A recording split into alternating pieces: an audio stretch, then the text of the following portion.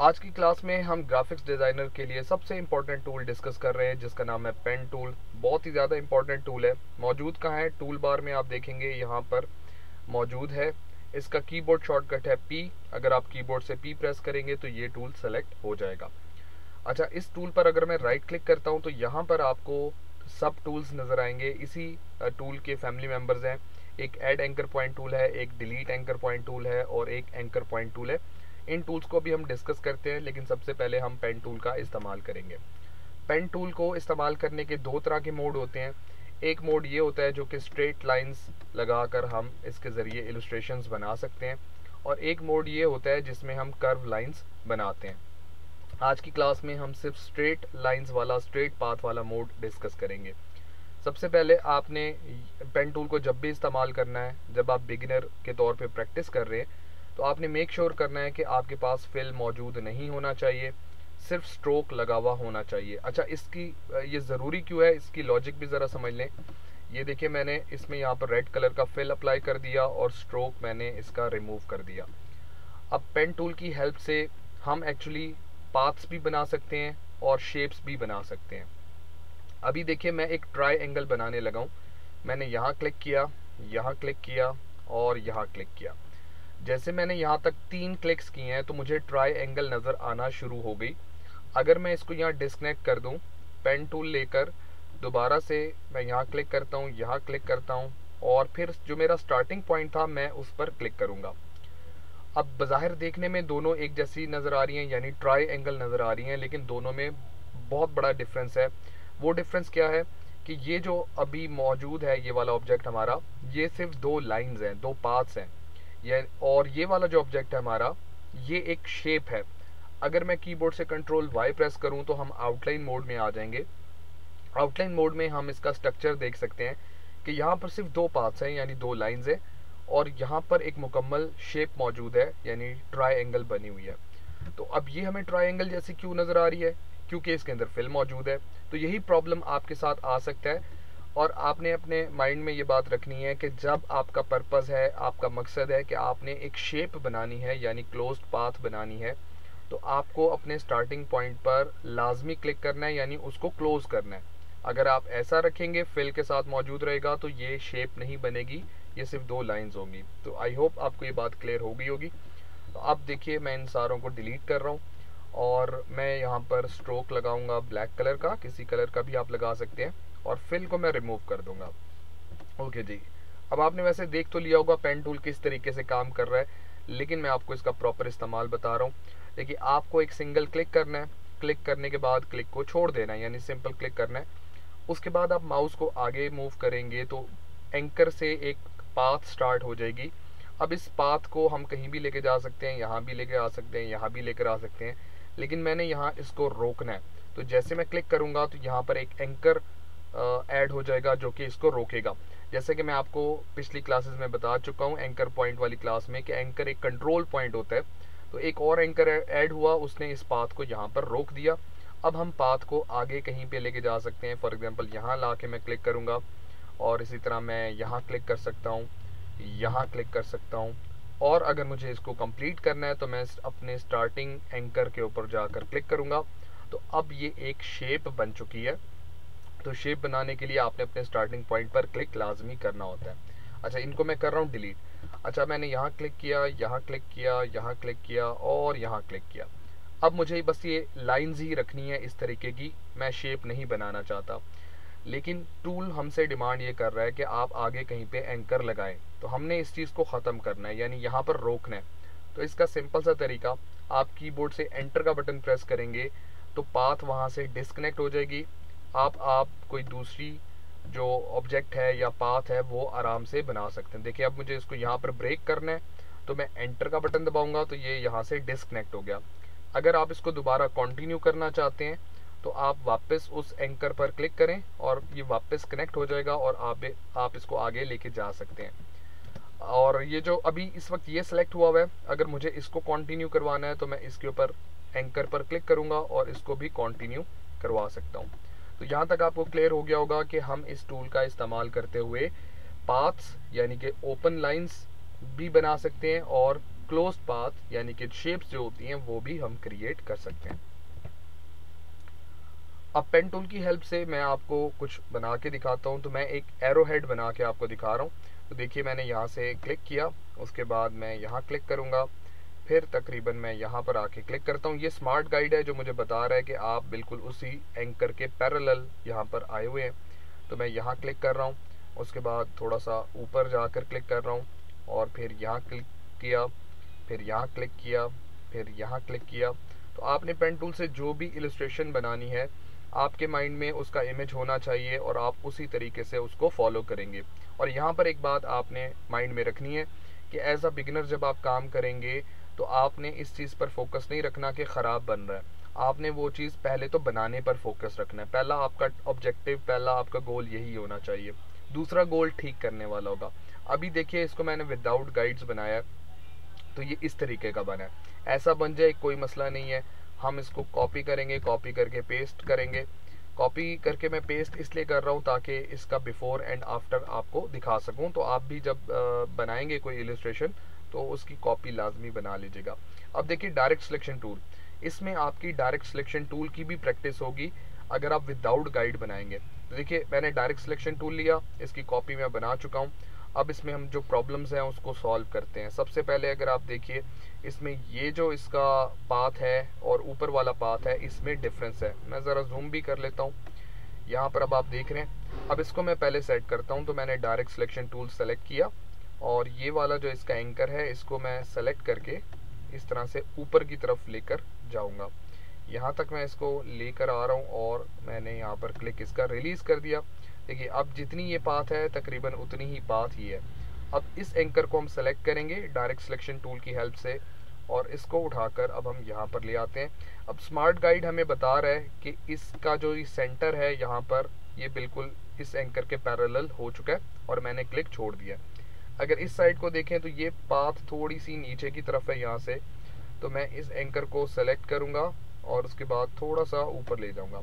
आप anchor points को minor सा मूव करने के लिए अप एंड डाउन वाले एरो कीज या लेफ़्ट राइट वाले एरो कीज जो कीबोर्ड पे होते हैं उनका इस्तेमाल कर सकते हैं। ये पाथ मुझे थोड़ी सी ज़्यादा लग रही है तो मैं इस एंकर को सेलेक्ट करूँगा और डाउन वाला एरो प्रेस करते हुए थोड़ा सा नीचे ले आऊँगा।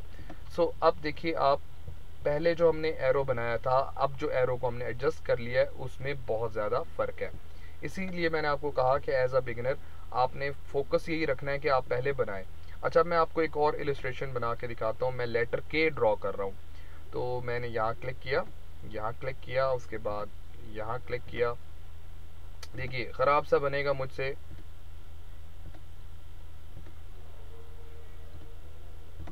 तो लीजिए जी। ये मैंने एक के लेटर की इलस्ट्रेशन बना ली with the help of pen tool but आप देख रहे हैं, बिल्कुल बेकार सा बना है, कोई मसला नहीं है। हम इसको पहले तो थोड़ा सा छोटा कर लेते हैं, क्योंकि आर्ट बोर्ड पे स्पेस नहीं है। उसके बाद मैं इसको कॉपी करूँगा कॉपी करने के बाद मैंने पेस्ट कर लिया। अब मैं इसको जूम कर रहा हूँ। जूम कैसे करते हैं? कीबोर्ड से अगर आप लेटर जी प्रेस करेंगे तो आपके पास जूम टूल आ जाएगा। क्लिक एंड ड्रैग करके आप उतने एरिया पर फोकस कर सकते हैं। तो मैंने डायरेक्ट सिलेक्शन टूल सेलेक्ट किया। सबसे पहले हम प्रॉब्लम देखते हैं कि तो ये पाथ बहुत बड़ी है और ये छोटी है तो इसको हम सेट कर लेते हैं। मतलब हम इसको जो है थोड़ा सा ऊपर ले जाते हैं। अच्छा अब मैं इस एंकर को सिलेक्ट करके ऊपर की तरफ़ लेके जाऊँगा। अगर मैं क्लिक होल्ड रख के इसको ऊपर की तरफ़ लेके जाता हूँ तो आपका माउस देखिए, आप जब ऐसे करेंगे तो ये हिल सकता है इधर उधर अगर आप बिल्कुल स्ट्रेट इसको लेके जाना चाहते हैं, ऊपर की तरफ़ तो आपने शिफ्ट होल्ड कर लेना है कीबोर्ड से। तो अब आपका माउस बिल्कुल स्ट्रेट मूव करेगा ऊपर की तरफ़ इधर उधर हिलेगा नहीं। हाँ अगर आपकी अच्छी प्रैक्टिस है तो विदाउट शिफ्ट भी आप इसको ऊपर लेके जा सकते हैं। नंबर टू अगर आप ऐसे नहीं करना चाहते तो एंकर को सिलेक्ट करने के बाद आपने अप वाला एरो कीबोर्ड से प्रेस करना है तो एंकर ऊपर की तरफ़ बिल्कुल स्ट्रेट शिफ्ट हो जाएगा। तो इसको मैं थोड़ा सा ऊपर लेके लेके गया, यानी ये पाथ मैंने छोटी की। उसके बाद इस एंकर को सिलेक्ट करके इसकी पाथ को भी मैं थोड़ी सी बढ़ाता हूँ, यानी ऊपर की तरफ़ लेके गया। दैट्स इट अब ये जो हमारा एंकर है, इसको सेलेक्ट करके मैं तकरीबन यहाँ दरमियान में ले आता हूँ, इस जगह पर। यहाँ पर ये सेट हुआ।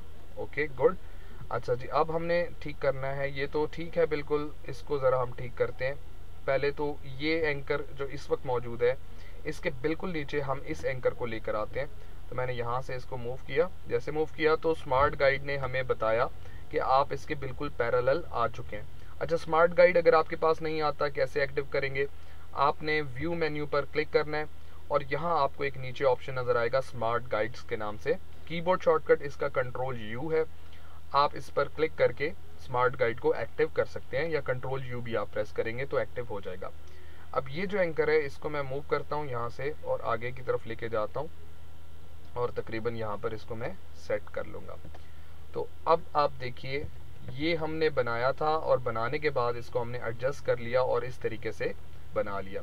तो एज अ बिगिनर आपने क्या करना है? इस टूल की प्रैक्टिस करने के लिए कीबोर्ड पर देखेंगे स्ट्रेट लाइंस के साथ जो लेटर्स हैं, आप उनको ड्रॉ करेंगे। जैसे कि लेटर एच हो गया लेटर के हो गया डब्ल्यू हो गया एम एन वी हो गया टी हो गया ई e हो गया एफ़ हो गया।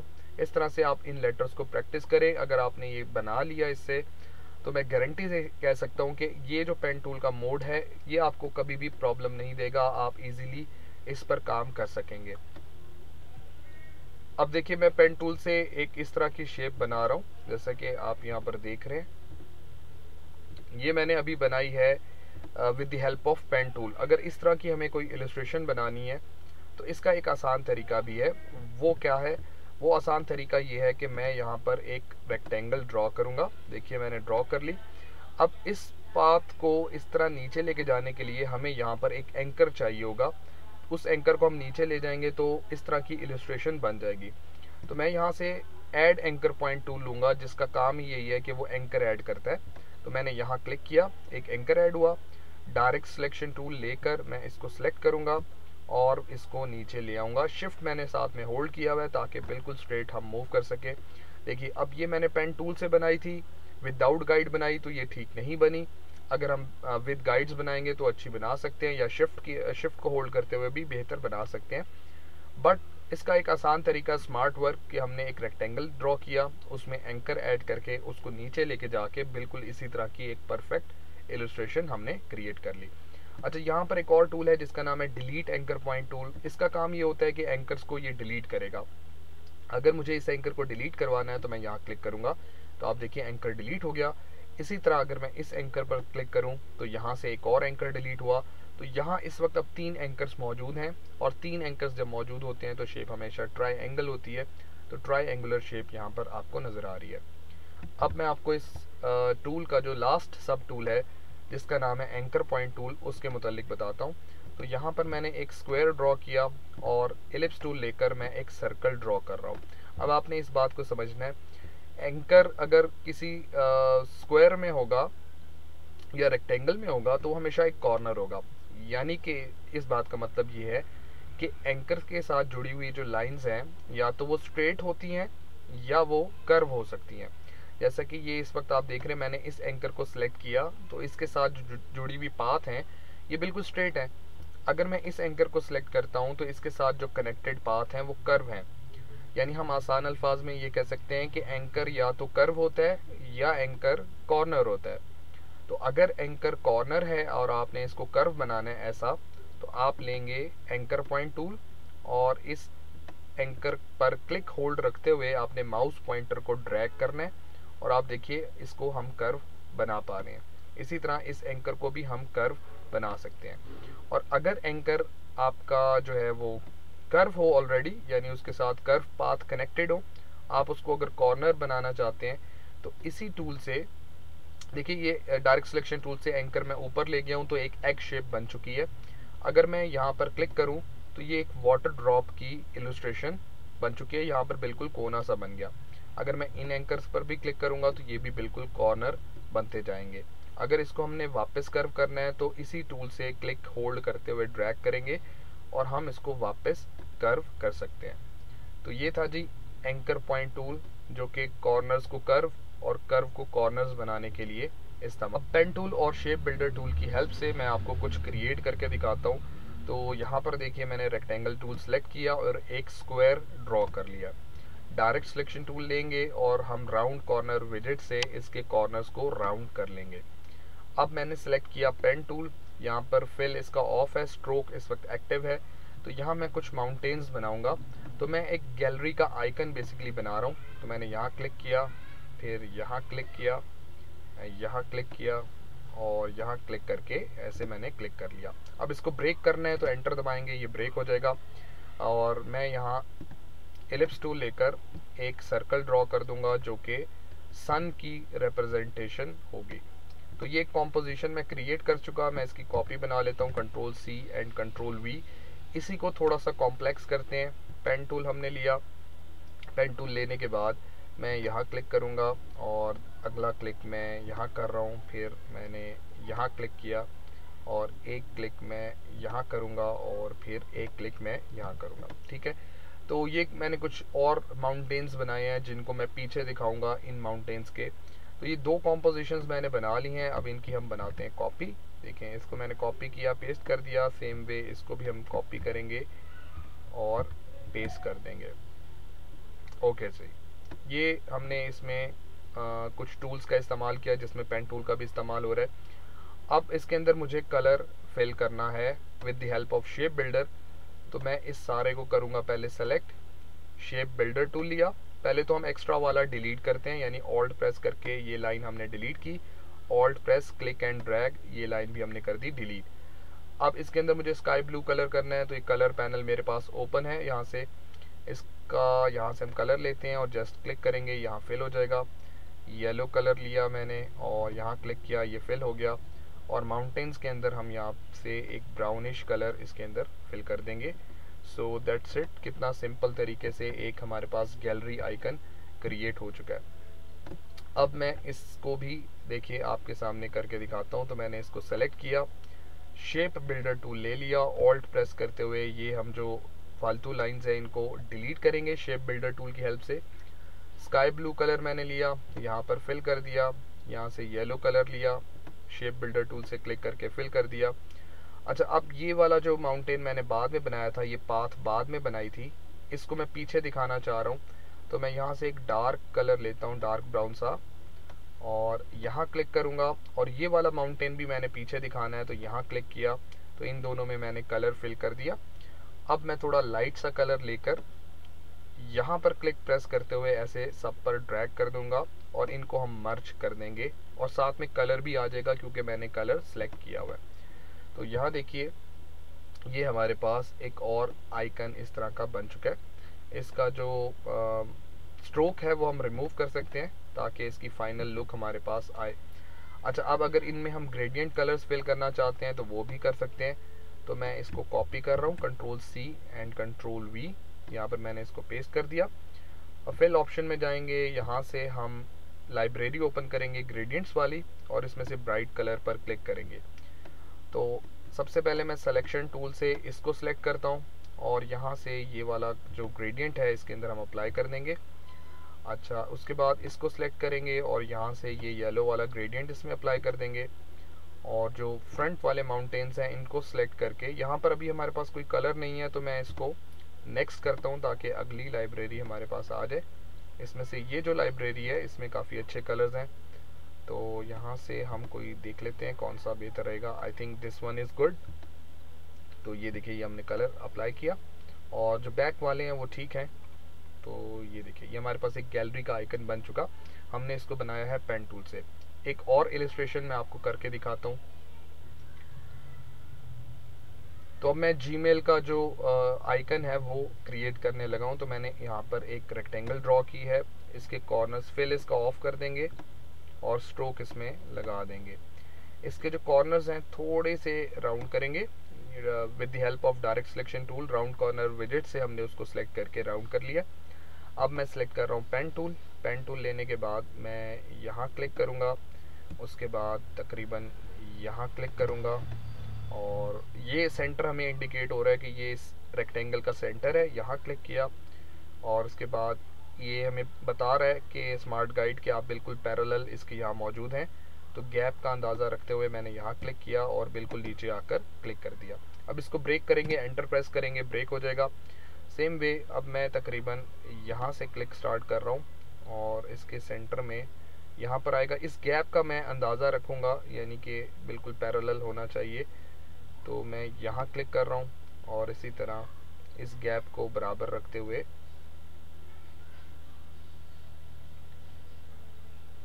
यहाँ पर क्लिक कर दूँगा। ठीक है, हमारे पास एक कॉम्पोजिशन बन गई। इसको मैं कॉपी कर रहा हूँ। कॉपी करने के बाद पेस्ट करूँगा ताकि हमारे पास एक बैकअप हो और हम उसको समझ भी पाएँगे। इसको मैं जूम कर रहा हूँ। जूम करने के बाद हम लेंगे शेप बिल्डर टूल तो सबसे पहले जो फालतू लाइंस है, उनको करते हैं जी डिलीट ऑल्ट होल्ड करते हुए। आई होप कि अब तक अपने शेप बिल्डर टूल प्रैक्टिस कर लिया होगा और आपको अच्छी तरह उसकी समझ आ चुकी होगी। अब देखिए, यहाँ से मैंने लिया रेड कलर और इसको हम फिल करते हैं यहाँ पर। और यहाँ ग्रे कलर होता है तो ग्रे कलर यहाँ से हम ले सकते हैं या हम इसको ले लेते हैं स्वेचेस से। तो स्वेचेस विंडो मैंने ओपन किया और यहाँ पर ग्रे कलर हमारे पास मौजूद होगा। इस तरफ़ ये मैंने सेलेक्ट किया, यहाँ क्लिक करेंगे और यहाँ क्लिक करेंगे सो दैट्स इट जीमेल का आइकन रेडी है, इसका हम स्ट्रोक रिमूव कर देते हैं. दैट्स इट आप इसमें अगर ग्रेडियंट कलर फिल करना चाहें तो वो भी कर सकते हैं.